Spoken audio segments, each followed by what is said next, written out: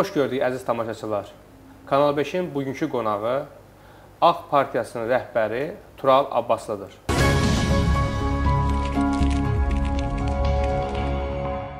Tural Abbaslı müxalifətdə olan Ağ Partiyanın sədri 1982-ci ildə Bakı şəhərində anadan olub. 1999-2003-cü illər arasında müstəqil Azərbaycan Universitetinin jurnalistika fakültəsində təhsil alıb. Milli Şuranın qurucularından biridir.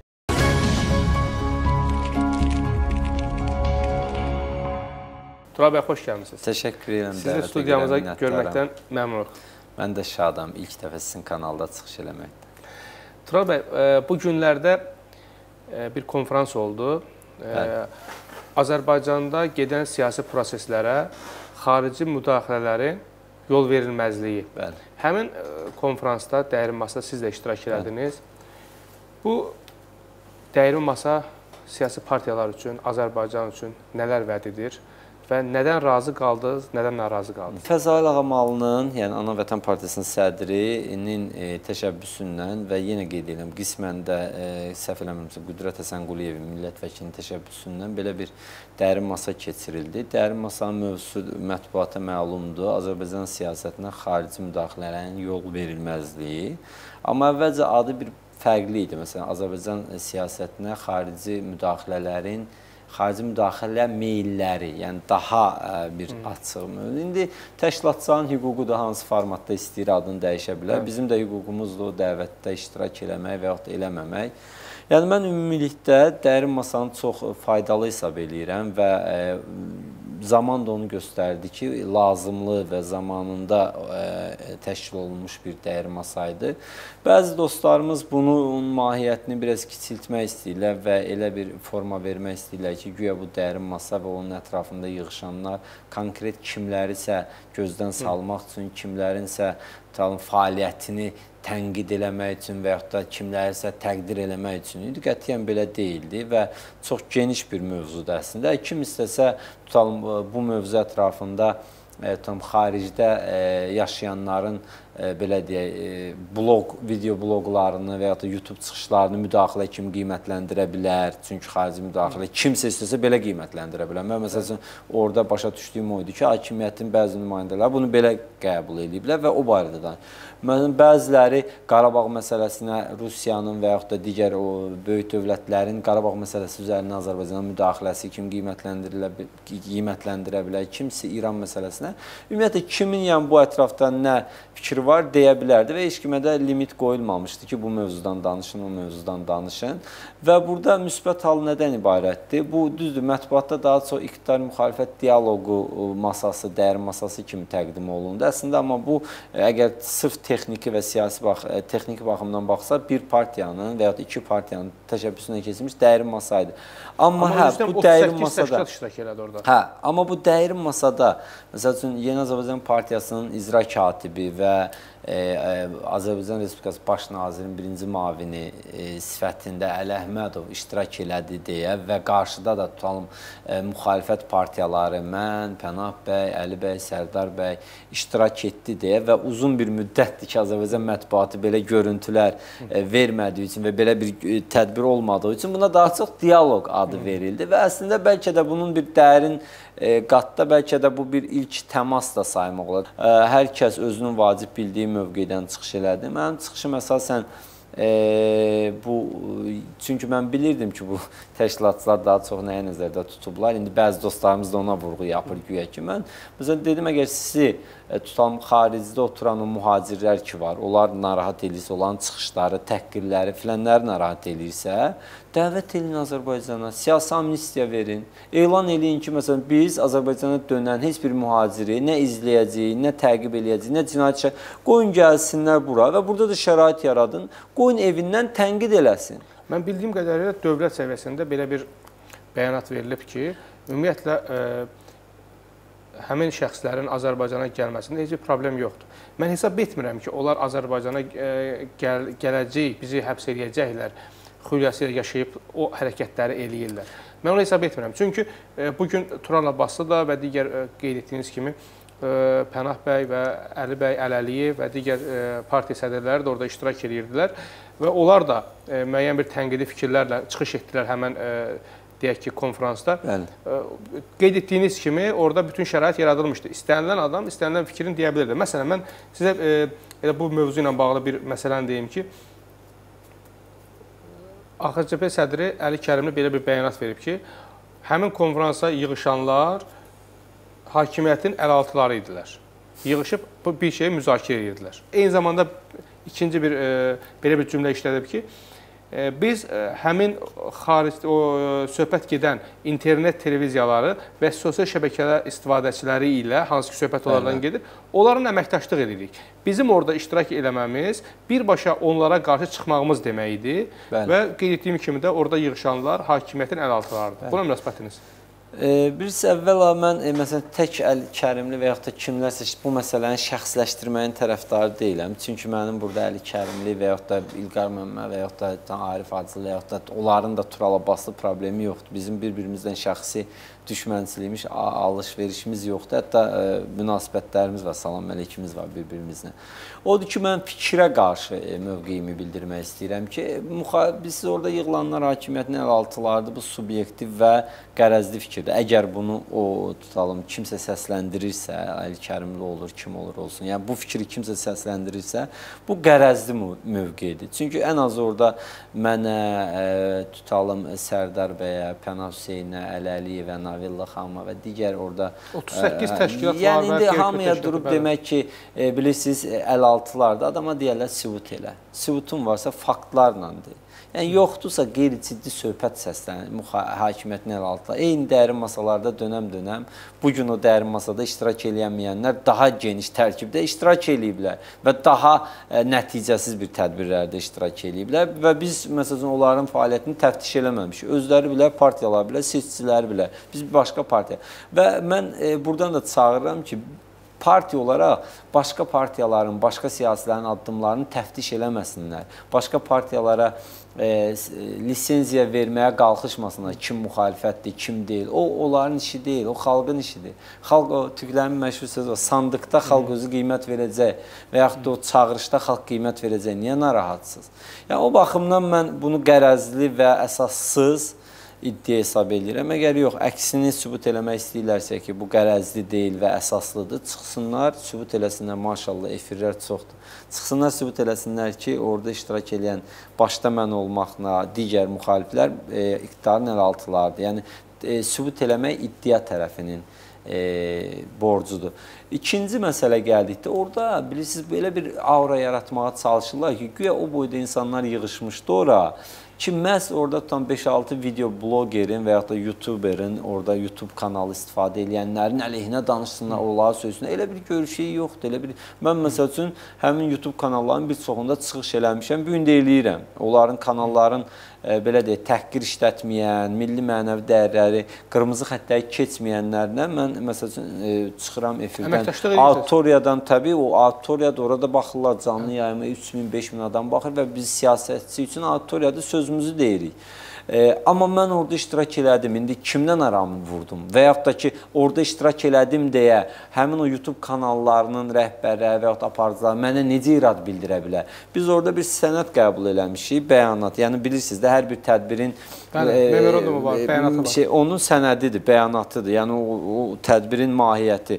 O bəyanatda heç orada xüsusi e, xaricdə yaşayan şəxs və yaxud mühacir sözü belə yoxdur. Orada 5 bənd var Qarabağ məsələsində ə, ə, Birgə bizim əməkdaşlıq. birgə əməkdaşlıq söhbət burada tək iqtidarla getmir. e, O Bəli. oradakı təşkilatlar və partiyalarla. Orada mən bilən ə, Əli Əhmədov tez durdu, getdi. O imza atmağı çatdırmamışdı ora. Bilmirəm indi atdı, atmadı. Yəni heç burada iqtidar müxalifət deyil. Ora toparlaşan təşkilatlar öz aralarında bir bəyanat imzalayırlar biz Qarabağ məsələsində əməkdaşlıq, birgə əməkdaşlığın tərəfdarıyıq. Biz ordu quruculuğunda və ordunun güclənməsi məsələsində əməkdaşlığa hazırıq. Biz islahatların aparılmasında, baxın, up aparılan islahatlara dəstəkdən getmir. Bəzən bunu deyirlər ki, bəyəm islahat aparılır ki, siz ona dəstək verirsiniz. Yox, biz islahatlar aparılmasının tərəfdarı və bunun üçün əməkdaş istəmirik islahatlar olsun. Dəyişikliklər islahatlarla hə. olsa yaxşıdır da. Yəni ki, inqilablarla, xaosla yox, islahatlarla, hə, daxildən islahatlarla, seçki islahatları olsun, mətbuatda islahatlar olsun, iqtisadiyyatda islahatlar olsun, təhsildə olsun, islahatların tərəfdarı. Burada hələlik heç bir əleyhinə gedəcək bir şey yox. Dördüncü, vətən vətəndaş cəmiyyəti, müxalifət, iqtidar və vətəndaş e, belə deyək, cəm, cəmiyyət arasında bir milli barışığın, düşmənçiliyin aradan qaldırılmasının, dialoqun tərəfdarı olmaq. Burada nədir bu? Ha, harda yazılıb burada o həmin o blogerlərin çıxışı? Ən axırıncı bənddə isə o taxılırlar ona xarici müdaxilə. Burada da ümumiyyətlə cümlə belədir. Azərbaycan siyasi səhnəsinə xaricdən qeyri-qanuni müdaxilələr, yəni qeyri-qanuni dərkən beynəlxalq hüquq normalarına zidd müdaxilələrin əleyhinə birgə e, tərəfdaşıyıq. Yəni çünki biz desək ki, hə, Azərbaycan siyasətinə xarici müdaxilənin əleyhinə Azərbaycan dövlətinin Avropa Şurası, Avropa İttifaqı qarşısında götürdüyü öhdəliklər var, digər beynəlxalq təşkilatlara qoşulmuşuq, oradan götürdüyümüz öhdəliklər var. Məsələn biz məcburuq onların əməkdaşlıq eləyə və onlar gəlirlər bu müdaxilə bilirsiniz bu dövlət səviyyəsində razıdır və buna müdaxilə deyilmir, bu əməkdaşlıqdır. Biz baxın, beynəlxalq hüquq normalarına zidd, zidd və. Azərbaycan Respublikasının konstitusiyasına zidd olan müdaxilələrini burada harda məsəl üçün Orduxanın adı çəkildi və yaxud da digər Qənimət Zahidin adı çəkilib ki, kimlərsə deyir ki, mən gedib bu bəyanatı imza atsam, tutalım Qənimət Zahid məndən küsəcək. Yəni qənimət sahibinin nə dəxli var söhbətə? Hə kimsə orada məsələn e, mən çağırmışam ki, gəl bu gün bu mövzudan danışaq. Kimsə orada nədənsə danışırsa, onun şəxsi mövqeyidir. Düzü 38 39 Bəli, özü bilə. Amma dərin masanın sənədi Bu mən sadaladığım bəndlərdir və salam rəsmi hə. mövqe budur. Kim orada nə deyib, kim nə deməyib, bu olan şəxsidir. Yəni buna görə bilirsiniz, bəzən ictimai fikri yanıltmağa, çaşdırmağa, çaşdırmağa filənə və bu bilirsiniz, e, mən düşünürəm ki, müxalifət daxili ümumiyyətlə siyasi daxili rəqabətə hesablanmış, amma dövlətə və dövlətçiliyə, ümumiyyətlə demokratiyaya zərbə vuran mövqedir. Yəni olmaz belə. Bəzilərinin çörəyi bilirsiniz də o e, böyük dövlətlərdə hərbiçilərin çörəyi müharibədən çıxır. Məsələn, Amerikanın Pentagon deyilən bir siyasi Bəli. qüvvəsi var. Yəni o heç heç də hərbi nazirlik deyil. Amerikanı idarə edən 2 3 dairədən biridir. Məsələn, olan marağındadır ki, müharibə olsun. İraqa girsin, Əfqanistana girsin, hərbiçisinə pul versin, maaş versin, silah alsın, silahını yoxlasın. Növbəti bir sual verəcəm. Deməli, e, Tural bəy, bu günlərdə iki partiyanın sədri, həm e, Əli Kərimli və digər İlqar Məmmədov belə bir bəyanat veriblər ki və belə bir çıxış ediblər ki, biz Azərbaycanda e, müxalifətin lideri olmaqla bağlı bir debata çıxacağıq və kimin müxalifətin əsas lideri olmasını müəyyən edəcəyik. Yəni həqiqətənmi bu müxalifət partiyaları iki liderin e... uğur arzulayıram. Burada bir məsələ var. Deyir ki, e, oğlan evində toydu, qız evinin xəbəri yoxdur, ya da qız evində toydu. Xalqın xəbəri var, bu lider seçirlər xalqa. Yəni bilirsiniz nə tərdir? Mən məsələn özüm özləri bilər. Yəni indi bu da bir siyasi priyomdur. Yəqin ki, məsəl üçün indi hər bir partiyanın siyasi gedişləri, priyomları, fəndləri var ki, gündəmdə qalaq, qəbul elətdirək, filan eləyək. Məsəl üçün e, adi bu gün marketinq qaydaları, reklam qaydaları var ki, bir şey bir dəfə deyərsən, iki dəfə, üç dəfə, dörd dəfə, beşincidə inanacaq insanlar.